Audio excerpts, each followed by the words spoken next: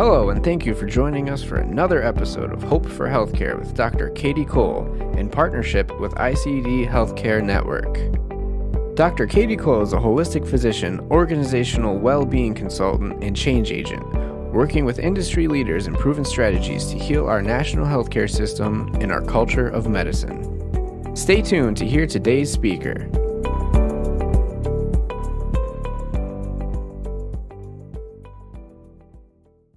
Well, hello, everyone. Welcome to Hope for Healthcare podcast. I am truly honored to introduce one of my good friends and colleagues, Dr. Luisa Duran. She is a board certified endocrinologist practicing in the San Francisco Bay Area, right down the road from me. And she is co founder of Pink Coat MD, an innovative digital platform designed to help women physicians thrive. After silently suffering from physician burnout within her first five years of practice and learning of her colleagues' near death experience following severe physician burnout, seeing thousands of other women physicians struggling alone, and hearing her young daughter even say that she wants to become a physician, Dr. Duran was propelled to collaborate with industry experts to provide solutions to burnout so that she and her colleagues may thrive. Dr. Duran also authored How to Thrive as a Woman Physician and is a sought after keynote speaker. Luisa strongly believes that helping women physicians thrive in clinical practice creates a healthier, more equal, joyful world. Well, welcome. And Luisa, it is an absolute honor and privilege to have you on the podcast today. Thank you, Katie. I am so honored to be here. And I have really, yeah, I've just been looking forward to this podcast so much. So thank you for taking time out on a Saturday to be with us today. Absolutely. I'm so excited to connect with you and your audience about something I'm personally passionate about. And I thank you for creating this podcast and for doing all the amazing work that you're mm-hmm. doing for all of us in healthcare. Well, thank you. Thank you so much, Luisa. Well, I usually start out by just saying, you know, tell us a little bit about how you got involved in healing physician burnout and working with phys- women physicians specifically. Sure, I'd love to. And I want to start by sharing with your audience, who I know are healthcare leaders looking to make a huge impact in healthcare today, that we must invest in healing and retaining our healthcare workforce, especially our women physicians who are disproportionately impacted by physician burnout and leaving our profession at alarming rates. And I'm happy to get into the specifics later in the podcast. Um, but to answer your question, I am an adult endocrinologist. I'm in clinical practice in the San Francisco Bay Area. I've been in practice now for about 10 years. I absolutely love what I do. Mm-hmm. Every day I use my decades of training, I'll repeat decades of training to care for people in my community mothers, fathers, coaches, you know, amazing people in the community, get them to better health, help them thrive.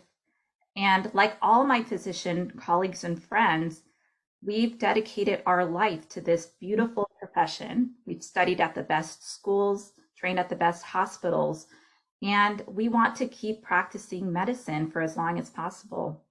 But I need, and many of my colleagues need the support to do that. And that's why I co founded Pink Coat MD. I and you know we are so grateful that you you know that you were able to turn you know the trauma that you experienced in healthcare with even other physician colleagues and friends that you've been able to really turn this around and to really provide a framework for educating leadership coaching and things like that. So i'm really excited to get into the nuts and bolts of your organization. Yes thank you katie. And just to highlight my personal experience you know this is a, a, a area that i'm passionate about because I personally experienced burnout myself within the first five years.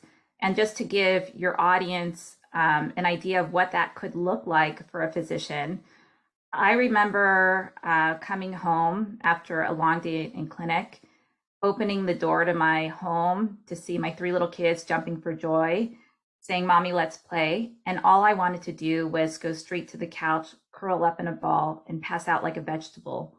And this for me went on for months to a point where I thought there was something physically wrong with me. Like my endocrinology brain kicked in and thought, have I developed low thyroid or yeah, something. Yeah, some kind of, you know, physical condition. And I went to see my primary care physician. You know, God bless all the primary care physicians out there. She ran a bunch of tests and she said, Luisa, you're fine. But I knew in that moment I was not fine. Mm-hmm. And later I would find and discover for myself that what I was experiencing was emotional exhaustion, which is a leading symptom of burnout among women physicians. Mm. That's really interesting. So that's how so women physicians can even present a little bit differently with their symptoms of burnout than than male physicians. Yes, and I think it's really important for women physicians to understand that emotional exhaustion is a very common experience.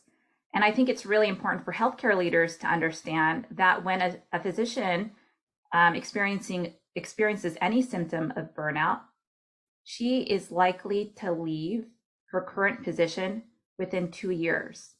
Wow. So it's really critical, Katie, that everyone in the healthcare community mm-hmm. understands burnout, is aware that burnout happens, mm-hmm. is aware of the symptoms and signs of burnout, mm-hmm. so that we can start taking action immediately. Well, and that's part of what your organization does is I think you do a really good job of educating uh, your members on burnout and helping them. I think we know that when people start to recognize on the front line that their peers are even burned out, which is why peer support coaching has been so effective in addressing burnout, it helps to create that culture change on the front line where burnout no longer is seen as something to be embarrassed about. It's actually directly due to causes at work in the work environment. Yes, and thank you so much for sharing that because um, only when I really delved into this work with Pink Coat MD did I discover the that the majority of physician burnout is actually due to systemic factors, mm. not individual factors. So we know from published studies that 80% of our burnout is related to our work environment. So our medical culture, um, our leadership, our work environments, and not because a physician is in any way a failure or there's in any way, you know, deficient in some way. Um, and in fact, there was that one study published in JAMA that showed even the most resilient physician who scored the highest in this resiliency um, study, mm-hmm. 40% still had burnout. So um, that tells us a lot that we are dealing with systemic factors that are just at odds with us. Mm-hmm. And the way I look at it as a physician in practice, who, you know, all I want to do is go into work, be my best self, mm-hmm. do my best work. You know, I love what I do. Mm-hmm. Uh, I, I'm so honored to be an endocrinologist. I get to help so many people living with diabetes and chronic diseases live their best life. But in order for me to do that work, I need to show up as my best self to provide the best healing. And that is why I'm personally passionate about doing all that I can to become my best self and to do what I can to stay strong and healthy mm-hmm. um, amidst the healthcare systemic factors that have yet to change. Mm-hmm. So, can you tell our audience a little bit more about Pink Coat MD and how you address burnout or resolving burnout? Absolutely. So, Pink Coat MD is an organization designed specifically for women physicians. Mm-hmm. We are dedicated to women physicians thriving. We believe our world is a better place when women physicians are thriving, when we're all thriving together in our healthcare uh, environments. Mm-hmm. And we do three things really well. One, we offer easy access to evidence based resources promoting physician wellness. Second, we offer a safe, dynamic community for mm-hmm. women physicians to come together anywhere and everywhere to learn from each other, learn from experts, grow together, thrive together. Mm-hmm. And third, we offer world class leadership development to support a women physician throughout her entire career. Mm. I love that, Luisa. And I love that you're you and also Dr. Tammy Chang is your co-founder are really focusing on the the women leadership training as well as building community i think that that's really important um, i think when we as women physicians and i know I, i'm in doing my own coaching with dr elsie ko and knowing that i have a community of female physicians just like me who have been through some of the similar struggles at work and and had you know struggled with getting promoted to leadership positions um, really learning how to overcome some of those barriers um, has been instrumental in my career and helped me um, resolve my own burnout as well. Absolutely. I tell Tammy, my dear friend, so Dr. Tammy Ching, who is my co founder and my partner in this journey, amazing physician. She practices pediatric hematology oncology. She's mm-hmm. a phenomenal friend. I've known her since we were 18 years old. I tell her every day that the work we've done with Pink Coat MD, what we've created, has saved my career and honestly has saved my life. I, I'm a different person because of the support that we've been able to put together. Can you give us an example how your own journey with Pink Coat MD and leadership training helped to turn your career around in your own burnout? Sure. Well, for me personally, um, within the first five years of practicing medicine as an attending, and you mentioned this in the introduction, I um, suffered from physician burnout. And for me, what that looked like was not only the emotional exhaustion, but I also felt incredibly lonely and isolated. I was the only female physician in my clinic. Um, I am the first doctor in my family, so I have no other doctors in my inner circle who could relate to my personal experience. Um, and I really just felt incredibly isolated, like I had nobody to turn to on those days that were incredibly hard, that I felt like I needed support. And so it was that feeling of loneliness that also, um, you know, made me uh, mm-hmm. look for connection and look for community.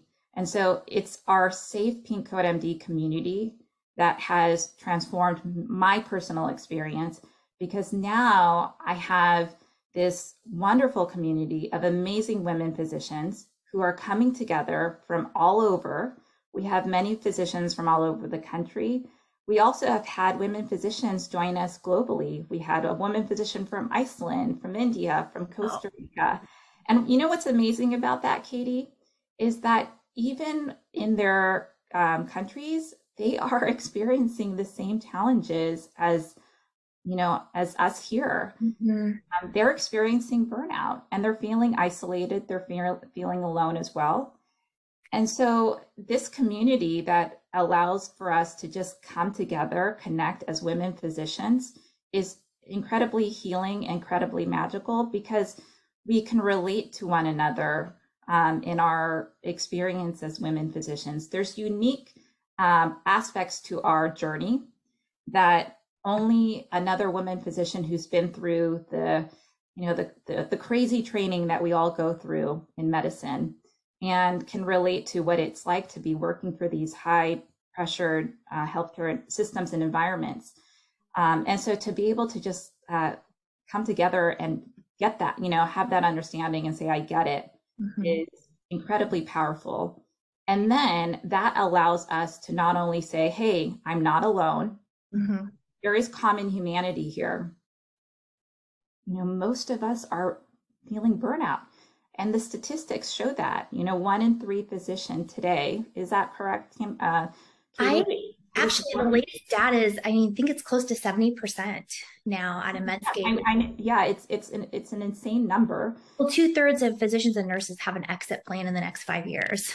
That is insane. I mean, it's just every time I read this stuff, it just gets, you know, more alarming. And I think your call to action is perfect today because now is the time to be very assertive and proactive in implementing these programs to really save not only physicians' lives, nursing lives, healthcare employee lives, create a more healthy working environment for all healthcare employees, um, but especially for women because we i don't know i think it's less than 2 to 3% of ceo positions are held by women right? Oh yes.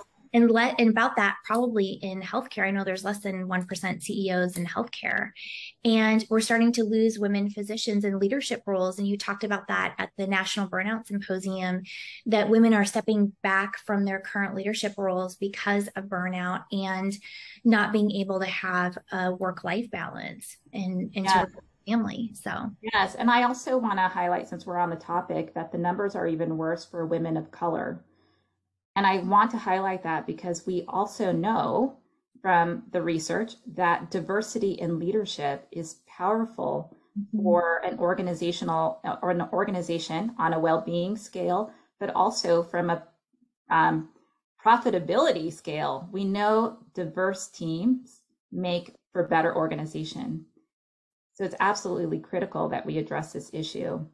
Um, but to your point about some examples of how our community has really helped women physicians, Katie, um, I absolutely want to highlight a, a, couple examples that we commonly see among women physicians. Um, for instance, we oftentimes see a woman physician who is just overwhelmed. She's a new attending early in her career, first job out of training, working a full schedule, 1.0 FTE, behind on chart notes, delivering excellent care, yet feeling exhausted, overwhelmed, thinking about cutting back, leaving her job, yet not so easy because she's the primary breadwinner. She needs the health insurance. She's got student loans. So she joins us. We provide immediate support. That's what I'm most proud about with our platform is we can provide immediate, easy access to support and resources we figure out her needs. She gets the help that she needs. Then she's feeling better. She's mm-hmm. more supported. She's in control. She's feeling more balanced, healthier, happier, falling in love with medicine again. More importantly, not quitting her job. And this is a common scenario that we will see in our community. Another example is of a woman physician who is just offered a leadership role within her organization. Um, she's feeling hesitant, unsure, doubting her abilities to lead. Mm-hmm. She takes our leadership development uh, course. Then she feels more confident, prepared. She takes on that role of director, chief, president, and adds tremendous value to her organization and her community. Mm-hmm. And these are just a couple examples of how Pink Coat MD truly helps transform physician lives for the better. I mean that that is wonderful news, Luisa, and I know that you guys have made such a big impact in the female physician community. I'm curious to hear maybe one specific thing that you might teach women physicians about embracing their new leadership role and how they're able to maybe move past the imposter syndrome? Yeah, absolutely. Well, I I want women to understand that they are needed in leadership today more than ever. Mm-hmm. We know diversity in leadership is huge for an organizational well-being. It's it's better for our communities, it's better for our world as a mother of a daughter who aspires to be a doctor, I want her to see more women physicians as leaders, um, creating the change that our world needs to see. And so I think there's a huge need for for all of us to step into that role. I view every single physician as a leader. So um, you don't don't don't get uh, don't be afraid of not having the title you are a leader just by being a physician. I love that. Right? That's very, that's very important because we we are taught to be leaders, but we have lost the perspective that we are now because of our current healthcare culture and we no longer have the same level of decision making we did when we were in residency in medical school. That's right. And one thing that we are um, you know teaching women in our programs is the importance of leading not necessarily by micromanaging others, but by being a leader who is clear on her values mm-hmm. and lives in alignment with her values. Mm-hmm. And that's a really important leadership um, skill that we're not taught in medical school. And one of the things that I've learned in the leadership development programs that we've done is that leadership is all about inner work. You know, I think Dr. Kelsey, uh, Elsie Ko mm-hmm. talked about this on your podcast, how leadership development really is an inside out job. Mm-hmm. Uh, and that is one thing that um, I think is so, so necessary for all of us to have the opportunity to do. And that's why, again, I'm really excited that we can make that an easy um, resource for women physicians out there.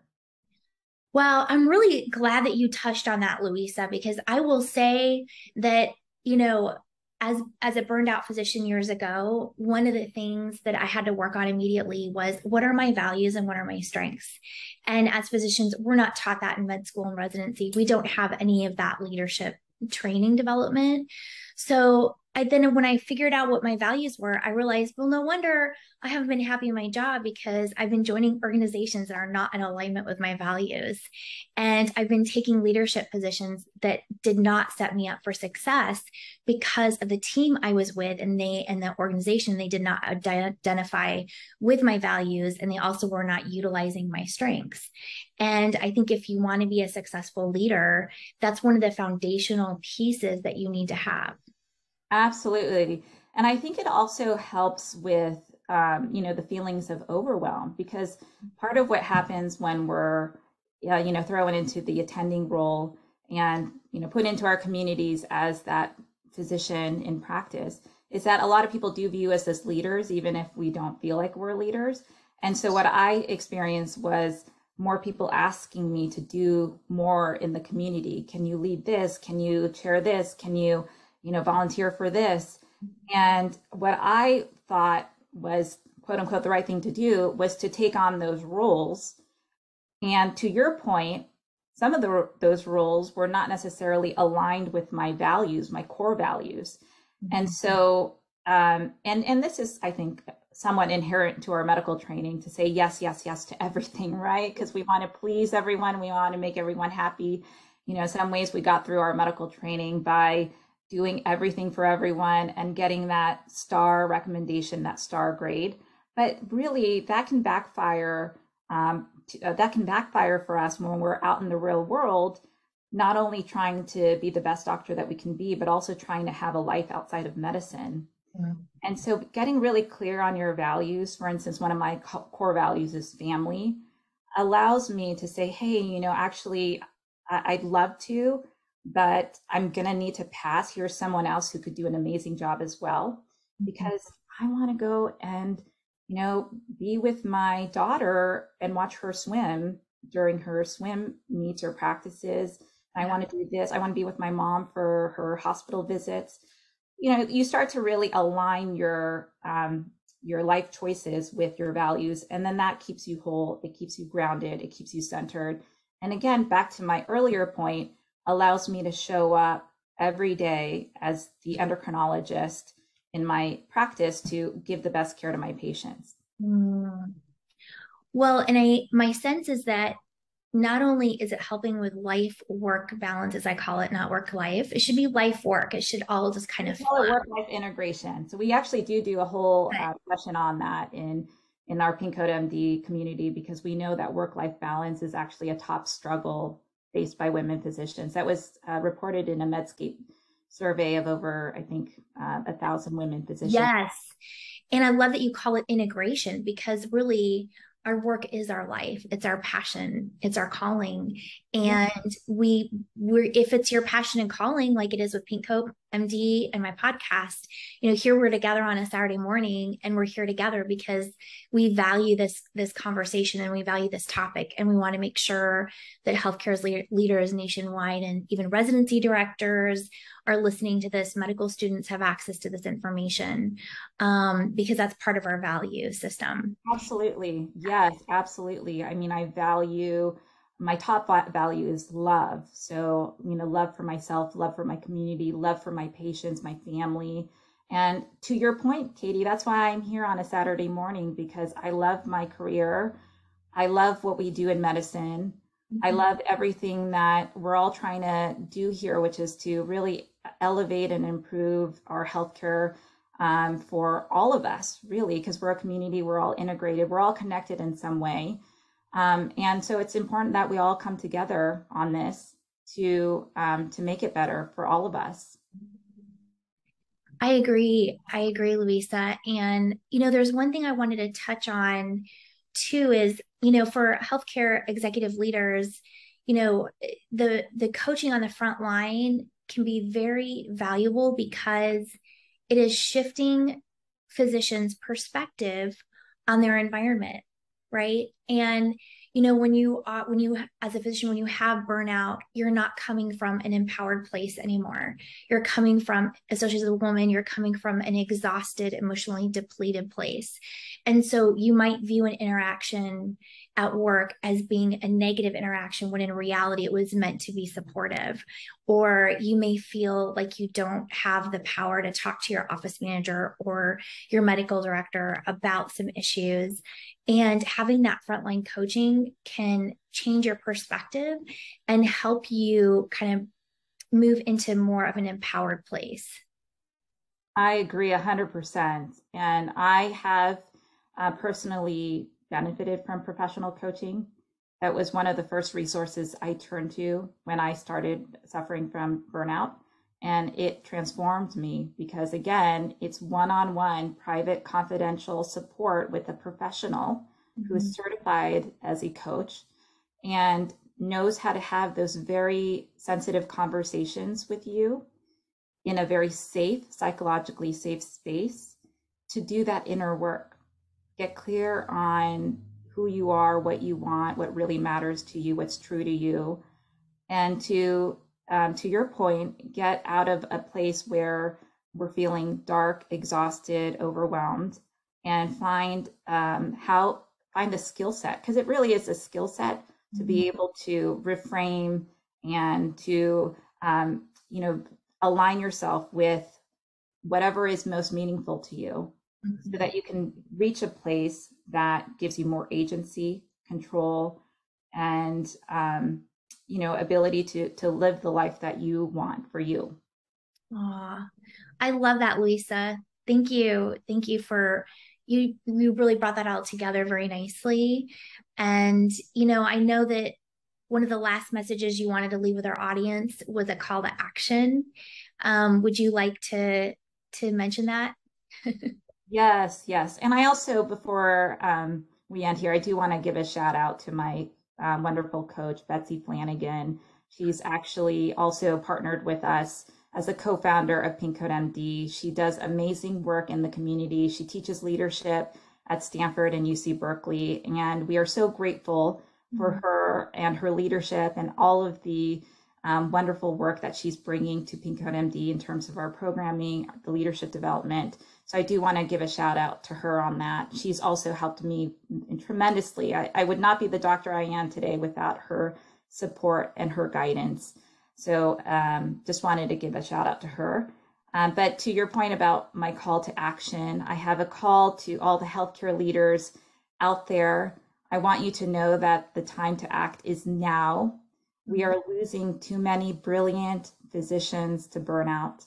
Mm-hmm. Um, you know, the statistics show that within the next 10 years, we are expected to have a physician shortage of over 139,000 physicians. And, you know, that's going to leave us with not enough physicians to take care of our kids, our parents, our loved ones, mm-hmm. even ourselves. Mm-hmm. So we must prioritize physician wellness, which means investing now, allocating funds to this effort now because absolutely we must heal our healthcare workforce, especially our women physicians. And at Pink Coat MD, we see a huge opportunity for women physicians um, to, to partner with another organization to help heal women physicians. And we're ready to join in this effort to retain, attract, develop our women physicians. So please reach out to me if you're interested as a healthcare organization in this effort. Mm-hmm. Um, you can visit our website, www.pinkcoatmd.com. You can email us directly at info at pinkcoatmd.com. And let's let's change the world together. Mm-hmm. We're ready. I love that. and absolutely. And for the audience listening, we'll of course love all this information posted in social media and on Dr. Duran's bio page on the website. So that'll be there for everyone. Um, well, any was there anything else that you wanted to address today, Luisa, before we wrap up? Um, I just want to thank you, Katie. You are um, doing amazing work with this podcast. I've been listening to your episodes, and I am so like honored to be a guest today. Um, I feel very much in community with you, with Bill, with um, Paul, with um, uh, everyone who you've had, Dr. Um, Elisseou, Sadie Elisseou. Yes, yes it's really a powerful thing, community. And so, Aww. don't you feel that way? I do, Luisa. Thank you. Thank you. We're not doing this work alone because it's huge work. You know, want yeah. to see a cultural shift, to see a healthier, brighter culture in medicine. We can't do it alone. We and can't I, do it alone. Yeah, and I'm really grateful that you know I found you, you found me, and we're having these wonderful conversations with the world out there to um, you know call us all to action yes and it, it and it does take a community to impact positive change in healthcare and we are building an amazing community of providers and leaders and thought leaders and i i also feel very honored to know you Luisa and uh, i look forward to co-creating with you in the future. Absolutely. Yes yes. Thank you all right. Well, thank you everyone for tuning in today. Thank you for ICD Events and Healthcare Network for sponsoring. And thank you, Luisa, for being an amazing guest on the podcast today. And we will make sure that we amplify all of the information that we talked about today.